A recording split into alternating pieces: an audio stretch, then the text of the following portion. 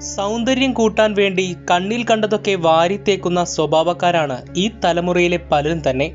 ഏതോ ഒരു സിനിമയിൽ പാപങ്ങൾക്ക് ഇത്ര സൗന്ദര്യം തരല്ലേ ഈശ്വര എന്ന് നടി കൽപ്പന പറയുന്നത് ഓർമ്മയുണ്ടോ? സൗന്ദര്യം ഒരു ശാപമായി കരുതുന്ന ജനതയെക്കുറിച്ചാണ് ഇന്നത്തെ വീഡിയോ. ഈ ജനത കുടികൊള്ളുന്നത് മറ്റെവിടെയുമല്ല നമ്മുടെ രാജ്യത്ത് തന്നെയാണ്. ചൈനയുടെ അതിർത്തി പങ്കിടുന്ന അരുണാചൽ പ്രദേശ് എന്ന ഇന്ത്യൻ സംസ്ഥാനത്തിലെ സീറോ താഴ്വരയിലുള്ള അബദാനി എന്ന ഗോത്രവർഗക്കാരായ ആളുകളാണ് തങ്ങളുടെ സൗന്ദര്യത്തെ ഒരു ശാപമായി കണക്കാക്കുന്നത്. ഇവിടുത്തെ സ്ത്രീകൾക്ക് സമീപ പ്രദേശങ്ങളിലുള്ള സ്ത്രീകളെക്കാൾ കൂടുതൽ സൗന്ദര്യമുണ്ട്. അതുകൊണ്ട് തന്നെ ഈ ഗോത്രവർഗക്കാരുടെ സ്ത്രീകളെ വിവാഹം കഴിക്കുവാനും അല്ലെങ്കിൽ അവരുമായി ജീവിതം പങ്കിടാനും ധാരാളം പുരുഷന്മാർ ആഗ്രഹിച്ചിരുന്നു. തങ്ങളുടെ ഗോത്രങ്ങൾക്ക് പുറത്തുള്ള ഗോത്രങ്ങളിലെ പുരുഷന്മാർക്ക് തങ്ങളുടെ സ്ത്രീകളെ സാധാരണയായി ഇവർ വിവാഹം കഴിപ്പിച്ച് കൊടുക്കാറില്ല. അതുകൊണ്ട് തന്നെ മറ്റ് ഗോത്രവർഗത്തിലെ പുരുഷന്മാർക്ക് ഇവരെ സ്വന്തമാക്കണമെങ്കിൽ തട്ടിക്കൊണ്ടുപോകണമെന്ന അവസ്ഥ സംജാതമായി. അതുമൂലം അബദാനി ഗോത്രവർഗത്തിലെ അതിസുന്ദരികളായ സ്ത്രീകളെ മറ്റുള്ള ഗോത്രവർഗങ്ങളിൽപ്പെട്ട പുരുഷന്മാർ തട്ടിക്കൊണ്ടുപോകുന്നത് പതിവുള്ള ഒരു കാര്യമായി മാറി.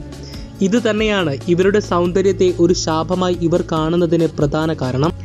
അന്യപുരുഷന്മാർ നോക്കാതിരിക്കാൻ. അന്യപുരുഷന്മാർ അവരിൽ ഭ്രമിച്ച് അവരെ സ്വന്തമാക്കാൻ വേണ്ടി തട്ടിക്കൊണ്ടു പോകാതിരിക്കാനുമൊക്കെയായി ഇക്കൂട്ടർ നടത്തിയ ഒരു പ്രതിരോധ നടപടിയുണ്ട്. തങ്ങളുടെ കൂട്ടത്തിലെ അതിസുന്ദരികളായ സ്ത്രീകളുടെ സൗന്ദര്യം കുറയ്ക്കുക എന്നത് അരുണാചൽ പ്രദേശ് എന്ന സംസ്ഥാനം മൊത്തം കണക്കിലെടുക്കുകയാണെങ്കിൽ തന്നെ താരതമ്യേന മറ്റുള്ള എല്ലാവരെക്കാളും കൂടുതൽ സൗന്ദര്യമുള്ള സ്ത്രീകളുള്ള സ്ഥലമാണ് സീറോ താഴ്വര.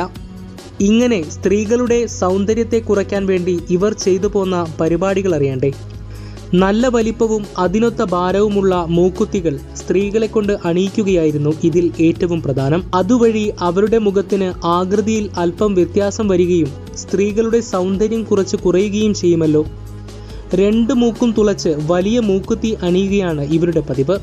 കൂടാതെ മുഖത്ത് പൂർണമായും പച്ച കുത്തുകയും ചെയ്യും. ഈ പറഞ്ഞത് ഇപ്പോഴും നടക്കുന്ന ഒരു കാര്യമായി കരുതരുത്. ഇങ്ങനെയായിരുന്നു ഇക്കൂട്ടർ കുറച്ചു മുമ്പ് വരെ ജീവിച്ചിരുന്നത്. കുറച്ചു മുമ്പ് എന്ന് പറഞ്ഞാൽ ഈ തലമുറയ്ക്ക് തൊട്ട് മുമ്പ് വരെ. ഇപ്പോഴും സീറോ താഴ്വരയിൽ ജീവിക്കുന്ന സ്ത്രീകളിലെ വൃദ്ധകളിൽ ഈ പറഞ്ഞ പോലെയുള്ള മൂക്കുത്തികൾ അണിഞ്ഞവരെ കാണാൻ സാധിക്കും. കാലം മാറിയതോടെ യുവതികൾ ഈ സമ്പ്രദായത്തിൽ നിന്നും പിന്മാറിക്കൊണ്ടിരിക്കുകയാണ്. ഇപ്പോൾ പ്രായമായവരിൽ മാത്രമാണ് ഈ പച്ചകുത്തിയ അടയാളവും മൂക്കുത്തിയും കാണാൻ സാധിക്കുകയുള്ളൂ. പുതിയ തലമുറ ഇതിൽ നിന്ന് വ്യത്യസ്തമാണ്.